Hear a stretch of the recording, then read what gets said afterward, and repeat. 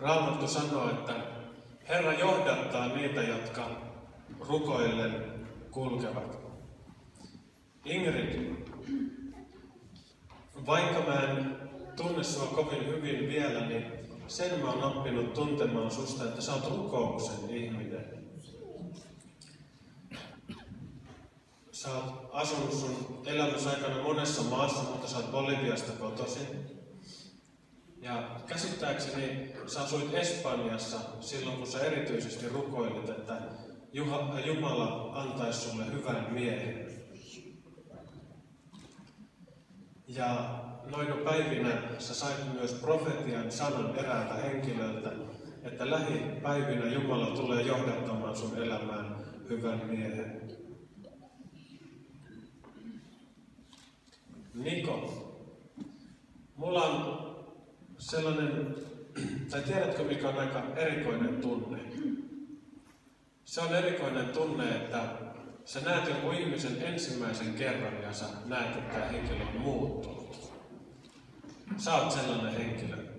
Mä en ole nähnyt sua ennen kuin sä oot ollut uskoa, mä en tiedä minkälainen sä oot ollut aiemmin, mutta kun mä näin sut ensimmäisen kerran täällä joku aika sitten, niin mä näin, että tämä mies on muuttunut.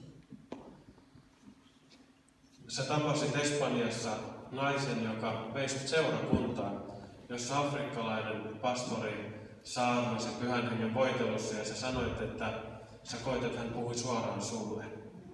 Ja noissa sanoissa Jeesus ilmestyi sulle sillä tavalla, että sä halusit luovuttaa sun koko elämäsi Jeesukselle.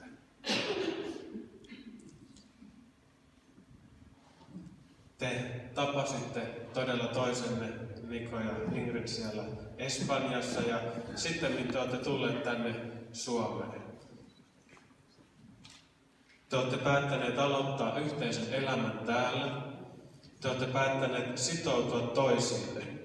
Ja te olette päättäneet myös yhdessä sitoutua Jeesukseen ja hänen seurakuntaansa.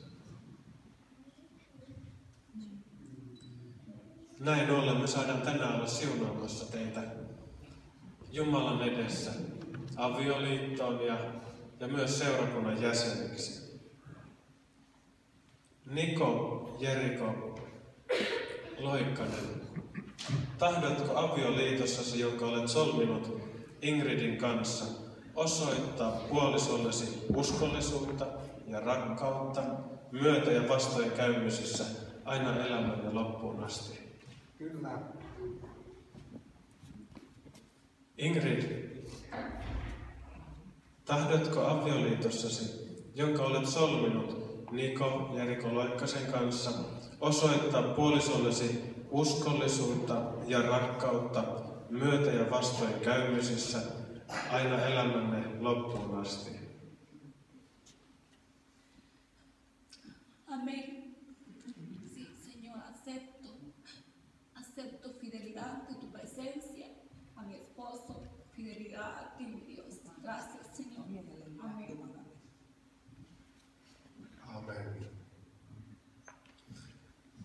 Jostain syystä mä sain